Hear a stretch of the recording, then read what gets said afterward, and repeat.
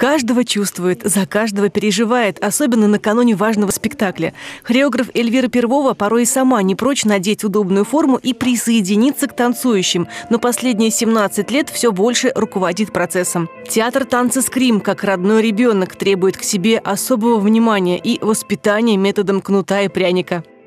Кнут, кнут, кнут, кнут. Чаще всего.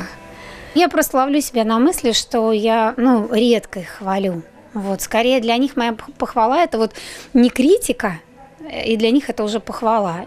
Совсем недавно Эльвира принимала участие в американском фестивале танца, успешно представила спектакль с местными танцорами. А здесь, в Самаре, пока нет своего помещения, дорогих костюмов и декораций, но есть огромное желание работать для зрителя. Вот я скажу честно, у меня есть вот такая мечта. Вот чего не хватает театру. Мне хочется их накормить.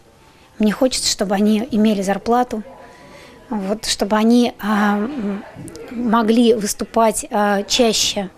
Вот, у них было такое желание а, работать в театре. Премьера спектакля «В долине маленького счастья» по мотивам сказок о муми-троллях состоялась в 2014 году и стала одной из любимых в репертуаре артистов.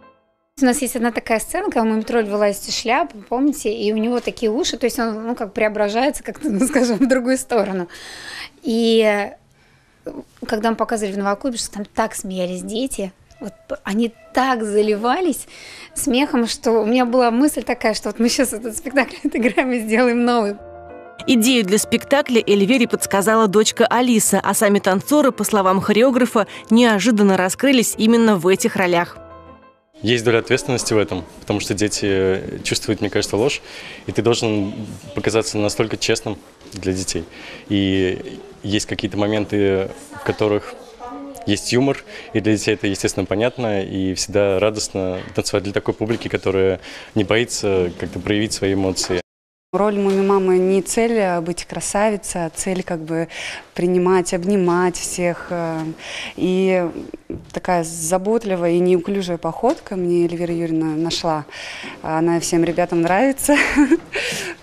Для Ани роль стала знаковой. Спустя год после премьеры у артистки родилась дочка. Так что теперь к роли идеальной муми-мамы совсем другой подход.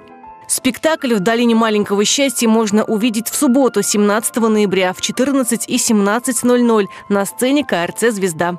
Юлия Черняева, Василий Колдашов. События.